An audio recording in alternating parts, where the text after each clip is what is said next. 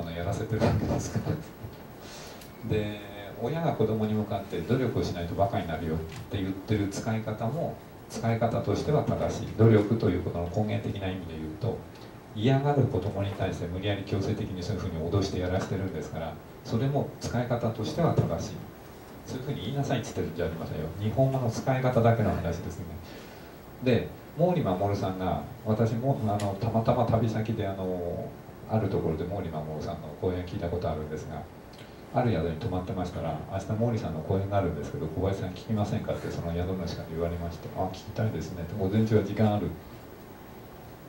で10時ぐらいから確か2時間だったのかなで名刺3枚くださいって言われて名刺をお渡しましたら翌朝あの入場券が手に入りましたのでつってで呼ばれていきましてでっかい体育館にあの地域の 10, 10の中学校の生徒が3000人全部でこう集まってで森さんがまあ登場してきたんですけどね。私の席というのはその3つのあの町長さんがいるんです3つのその町長の 2, 2人と1人の真ん中なんですよ。であの旅行作家のあの名刺がすごく効くんだそうでそういう時は。旅行作家の偉い先生っていうことで私が「町長町長私町長」ってそういう状態で毛利さんの話を聞くことになったんですけど。で毛利さんがあの30年前にアームストロング船長が、えー、月面着陸したんですよね初めて。で30周年っていうのが16日なんですよ7月16日。今日17日でしたっけ？で16日に打ち上げなんですよね。で確か20日に月面着陸したんだと思いましたね。ですからそういう非常に記念すべき日だったんですけど昨日は。で、えー、その毛利守さんがそのアームストロング船長の月面月面着陸を見た時にその画面を見ていて僕は絶対に宇宙飛行士になるって叫んだんですってお兄さんに向かって。ね、で仮に毛利守さんがそこでこう言ったとすると実際には言ってないんですけど言ったとすると僕は努力に努力を重ねて宇宙飛行士になるって言った場合にはその努力という使い方は間違いです。わかりますか？自分の意思で自分の望みで宇宙飛行士になりたいと思った場合は努力という言葉は本来は間違った使い方をしています。今はめちゃくちゃに使われてますよ。でも本来の意味は努力というのは嫌がるものに無理強いして力を出させることを言います。わかりますね？言ってることが意味が。本質的な意味の話です。今どのように使われているかではない。だから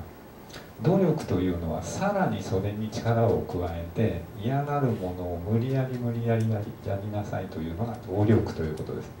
日本人はとっても好きですけど努力。でも根源的な意味では努力というのは人に強いられていやいややることを言います。で奴隷の人々は自分でやりたくてやってることは一つもなくて全部女手として子育て子守炊事洗濯掃除をいやいややらされてる人なのでそういうふうにいやいや常にものを考えて自発的な心がない状態の心を怒りと書きます。こういうふうになってるんですね面白いことに。奴隷の心って。いうのは常に嫌がるものを無理やり無理やりやらされてるので怒りになるんです。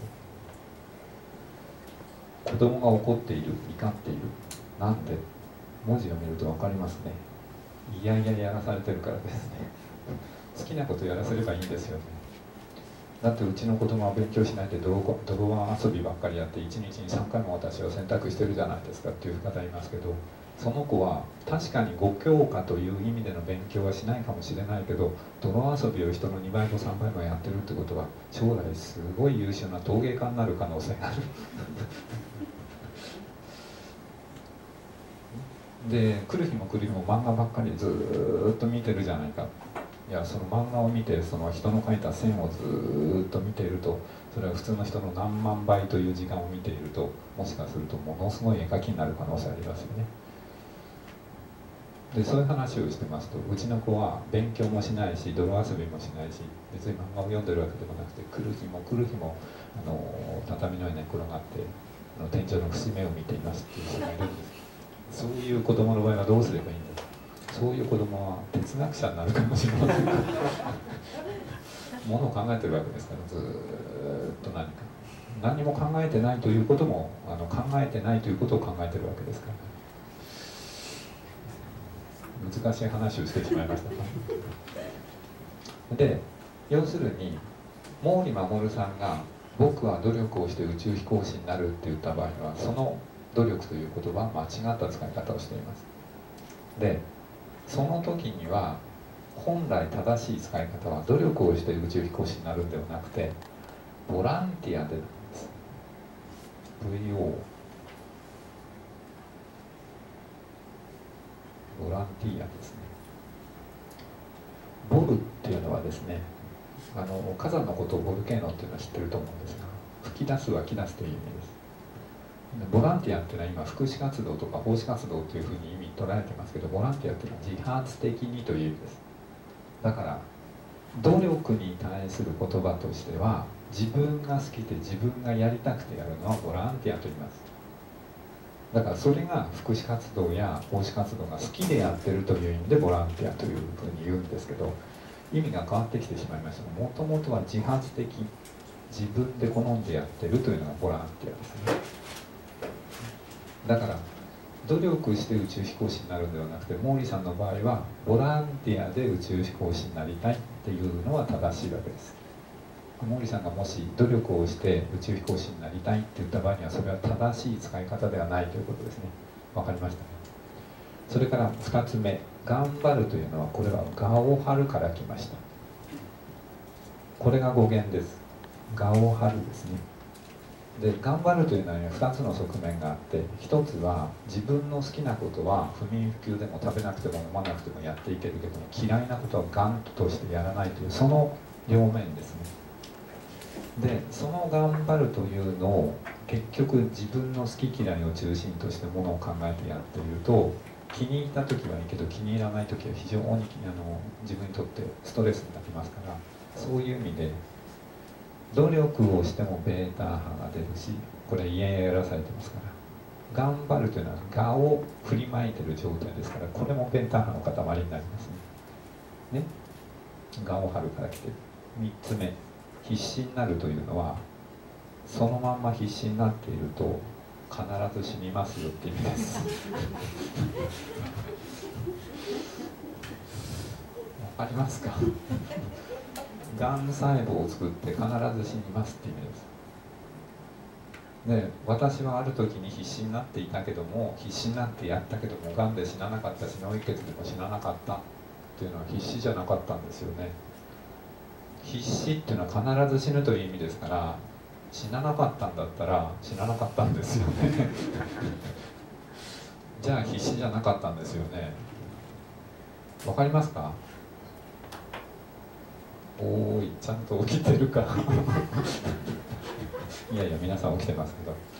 分かりますか？あまりにもあまりにもあの突飛なこと言われたので皆さん見取られてるでしょうけど必死になるということはそのまんまの状態でいると必ず死にますよっていう意味です。だから昔の人はそのように私たちに教え伝えてくれたんですけれども私たちはついつい人に対して必死になりなさい。頑張りなさい。ちゃんとやりなさい。でその一連の言葉の中に必死になりなさいって言うんですけど必死になっていたら嫌なものを無理やり無理やりやらされるわけですからノルマを課せられたりね。残業時間のそのあの計算は入れないけどとにかく残業しなさいとかね。この仕事は全部やり遂げなくちゃいけないとかね。そういうことをやらされると結果として過労死したりえー、がん細胞作ったりコレステロール溜まって脳溢血起こしたりしますけどそういう状態で死ぬ状態を必死と言いますね。で楽しくやってる時はコレステロール溜まりませんし血圧上がりませんし眠くてあの寝ないでも大丈夫ですから死にません。ので必死ではありませんね。で要するにこのベータ波をたくさん出すこの15%領域を自分が一生懸命その15%に近づけるためのキーワードというのは努力すること頑張ること必死になることなんですね。でその結果としてやっと15%まで来ます。自分の能力は。でその15%の壁をえー、壁に至るまではこの3つがキーワードになるんですね。だから2段階論だからすごく難しい。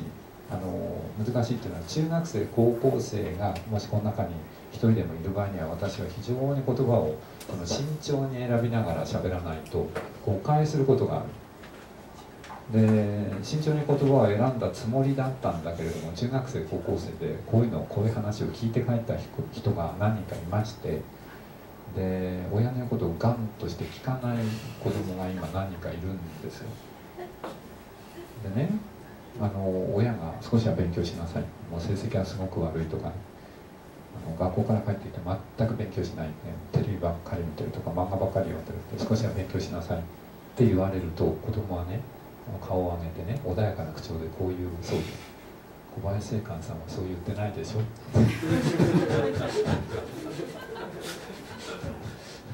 そうすると親はそこから先絶句してしまって何にも言えなくて困っていてどうしたらいいでしょうって相談の電話かかってくるんです私も何も言うことできないのでしょうがないですねそれは。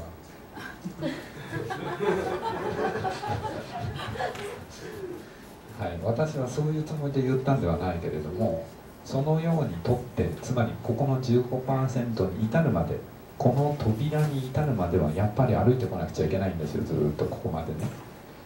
でここまで歩いてきて初めてこっから先の領域の話で今度は努力してはならない頑張ってはいけない必死になってはいけないんですよっていう話をしてたはずなんですけど今日のようにあの私の説明の側がこう鮮明にクリアにまとまってなかったもんですからこの辺だけの話をしてしまったんですね。で今日はもう前置きなしにいきなりこの構造だけを話ししてますのでだから皆さん分かりやすいんですよ今日は皆さん幸運ですとっても話があのあちこち飛ばないでここれだけの話ですからエキスだけの話ですから小林正観30年の歴史のエキスの部分ですからねでとりあえずこの努力してはならない頑張ってはいけない必死になってはいけないというのがこっから先のキーワードと。いう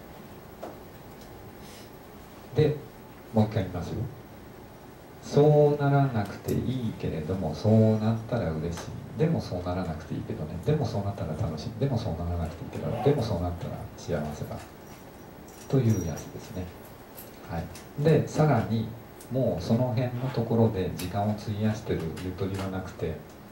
もう今日中になんとか1000万のお金を作らない作らないと明日不当たりになってしまう。どうしたらいいだろう。といった時はもうそうなったら嬉しいなと言ってる悠長なレベルではないので。でもその1000万の手形不当たりを明日抱えそうだっていう時にそうならなくて良いなっていう気持ちにはなかなかなれないわけで。だからその通り起きないわけですね。でも本当にそうなってもしょうがないと思った結果としてそれを基本に抑えた上でそうなってくれてありがとう。どっかからお金の話がポンと飛び込んできてなんとかなってくれたら嬉しいなそうなってくださって神様ありがとうございますって言うと言うとっていうかそういうふうに思ってるとそうなります。ならなくていいんですけどなってくださってありがとうっていうふうに思ってるとなります、はい、ならなくていいんですけど。だから例えば、えー、この中に独身の方がいたとしてね。でどうしても結婚したいけどって思ってる時に結婚相手が現れてくださってありがとうと思ってると現れません。なんか身につまされる人がいるのでしょうかねでならなくていいけどそういう人が別に現れなくても全然構わないけれどもそれはそれで自分の運命がそういうふうに自分でシナリオを書いてるものだったらそれはそれで全然構わないけれどもそれはそれでもう完全に苛立ちがなくてこだわりも執着もない状態ででで現れてくださってありがとうっていうとその通りになります。あのこの前この話はあるところでしてましてあの2次会というのか3次会というのかちょっとあの座敷で10人ぐらいでお茶飲んでたんですね。でここにあの30歳ぐらいの若い男性がいてそこその隣にまあ奥さんがいて、えー、あと78人こうちにいたんですね。で私たまたまそのお茶を飲み終わってましたもんですから例えばですねってその10人の人に言いました。この方に今一番近いところにここに男性がいるけれどもこの方に私が別に入れてくださらなくていいですけれども入れあのお茶を入れてくださってありがとうって言ったとしますねって言ったんです。別にそのあのお茶を入れてくれなくてもいい初対面の人ですしだから全然そのあの甘えて何かをするっていうのではなくてただ例えばっていう話でここで私はこの方に空いたその空のねお茶碗をこうやって渡してお茶を入れてくださってありがとうって言った場合にはそうならなくていいけどなってくださってありがとうって言うとなるんですよね。って言ったら「そうですね」って言ってこの方が立ち上がってお茶を入れてきてくださいました。私は考えてなかったんですそれ例え話で言っただけだったんです。だから例え話だからならなくていいんです別に。お茶を入れてくださいって言ったんではないんです、ね、例え話で今日初対面でこの方は私と全く会ったことないけれども例えばこの人に空のお茶碗を渡してお茶を入れてくださってありがとうって言った場合にはそうなるんですよねって言ったら「はい分かりました」って言って立ち上がっていってお茶を入れて帰ってきてくれたんです。面白いでしょ そういうふうに先にお礼を言ってしまうとどうも人間はお茶を入れてくださいって言われた時に嫌だっていう気持ちになったりなんで私がしなくちゃいけないんですかっていうこういう心になったりするんです、ね、だから先にお礼を言っちゃう、ね、そうそういうふうにしてくださってありがとう。でこの方が普通の人であってもそういうふうにするんですよね。この方がじゃあ普通の人よりも心優しい人だったらもっとやってくれますよね。じゃあ普通の人より心優しくて寛大で寛容で穏やかでにこやかな神という名の存在だったらお茶を入れてくださってありがとうって言って嫌だとは言わないでしょうね。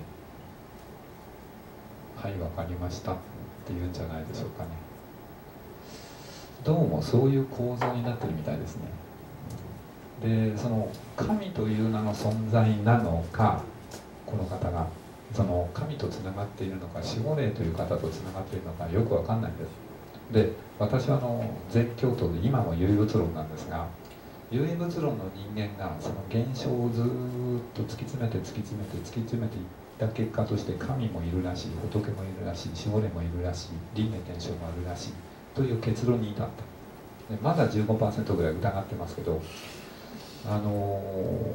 ある現象を目の前で言われたとしますね。例えば海水の中には塩が含まれてるんですよって言われた時に反応の仕方をするあの3つの形態がありますね。1つ目そんなバカなことあるわけないじゃないか、ね、海の中に誰が塩を溶かし込んでるんだっていうふうに言う人がいますね。そうやって反論する人がいますね。からああ確かにあなたが言うんだからそうでしょうねってまるっきりその人の言ったことを鵜呑みにする場合がありますね。で3つ目の検証方法ありますね取り方が。3つ目はイエスでもノーでもなくて自分で煮詰めてみればいいんですよね。グツグツグツグツと。そしたら水分がなくなって出てきた白い結晶体をこうやって舐めてみたらあ確かに塩だった。でこの場合の結論塩がないねって言うんですけど 塩が出てきた場合に塩があるのに塩がないよっていう。しょうがないねって言うんですけどで私はその3つ目の検証をするタイプの人間なんですよ。それでずっと30年間そういうことをやり続けてきたんですが唯物論全教頭であったにもかかわらず結局今は唯物論なんですけれども結局その死を認めざるを得なくなった。でこういうことを認めざるを得なくなった。でこれは理論ではなくて理論なんですけど理論的にこういうふうに至ったのではなくて実は実証例としてこういう結論になったんです。でこの方程式通りにやっていくと皆さん今日から人生が一変します。